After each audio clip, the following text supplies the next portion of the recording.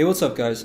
If you've just recently upgraded Adobe Premiere Pro from 2017 to 2018 and you're now having trouble exporting audio, then this video is for you. So long story short, I was using Premiere 2017 for quite some time without any problems, but as soon as I upgraded to 2018, I was having trouble with audio during export. And sometimes I would get one track that would get exported, other times I would get audio from certain clips that would get exported, sometimes I wouldn't get anything. So I tried a bunch of things. I tried emptying the media cache folders as recommended by Adobe.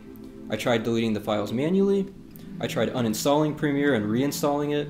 I tried creating a new project and re-importing everything. I tried making a new sequence and using that instead. But nothing worked and I wasted countless hours of time. So finally, late last night, right before I was about to give up and go to bed, I found a workaround. So let me show you how that works. Alright, here we go. So I have a pretty simple project loaded up in Premiere. As you can see, I have a few tracks here including some audio tracks. And all this is, is a little bit of footage from Overwatch.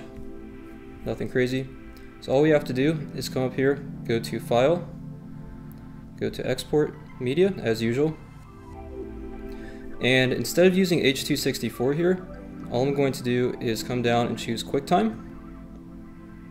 For video codec, this is important. What I found works for me is Apple ProRes 422 come over here, click match source. That should get your source correct, or if you need to edit manually, you always can. I always use maximum render quality, but that's a separate issue altogether. Uh, for audio, I'm using uncompressed audio. That seems to work fine. And you know, you can choose whatever else you need to here.